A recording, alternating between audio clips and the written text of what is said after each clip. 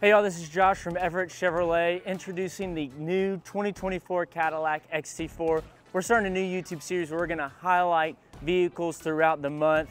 Uh, in this one month, we decided to pick out the XT4 from Cadillac. It is US Open month and Cadillac is a sponsor of the US Open uh, tennis tournament going on up in New York this month. So make sure to stay tuned uh, as we talk about all the features on this vehicle. Just wanted to point out something real fast to you. This redesigned front fascia is kind of gives a great stylish look, an iconic look, if you will, from Cadillac, as well as the white tricoat on the outside really makes it pop. You're gonna wanna stay tuned and subscribe below for all the upcoming videos on this 2024 XT4.